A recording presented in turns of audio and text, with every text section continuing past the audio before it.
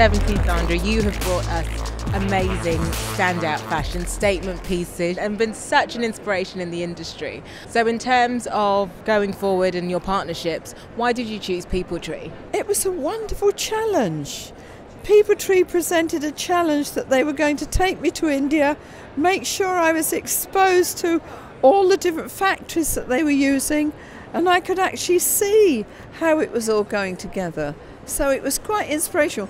And seeing how their founder, Safia Minney, works. You know, she's a very good taskmaster and she follows everything she believes in. So it is fabulous. I went to India with a model and this lovely Spanish filmmaker and a makeup girl so that we not only had the original samples that we then got photographed in situ, but we could be shown how they were all working really well and how it was all going. People Tree do all this wonderfully ethically correct fabric and the, all their, the way they handle everything. And so they approached me to do a very small capsule collection. I've been very, very thrilled with it.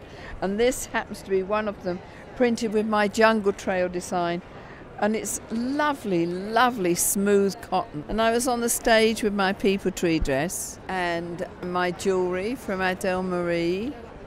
It's been very nice. Tell us a bit about your handbag collection. We've got a whole lot of wonderful variety. This one, for example, has got the two different textures, which really looks lovely. From tiniest of little tiny beautiful handbags, computer bags with the shell stitching on them, and even little cat and dog carriers, some with wiggle lines. You can be very smart carrying your doggy around. I think they're going to have to make several sizes. You could have an elegant chihuahua in a handbag size. Do you think in fashion we have a responsibility to shop not just based on aesthetics, but also in terms of maybe be more culturally aware of where things come from? I think we should be more responsible and think about what what it is we're wearing and all the effort and the number of people it takes to go into things. I think it's something certainly worth considering.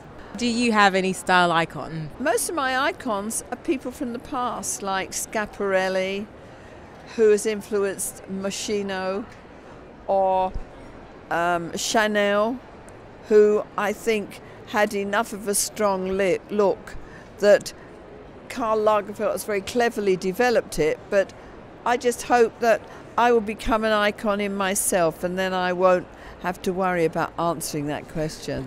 Well, you absolutely are an icon, Zandra. Thank you so much for your time.